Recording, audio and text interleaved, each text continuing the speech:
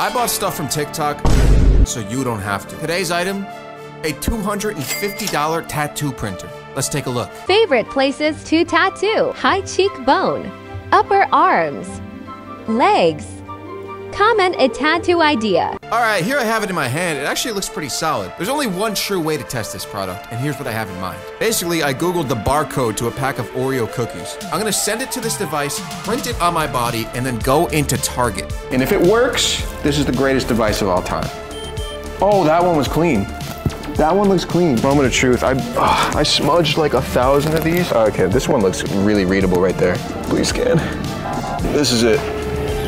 Oh my god. Look at that. Come on, bro. I'm running out of room, bro.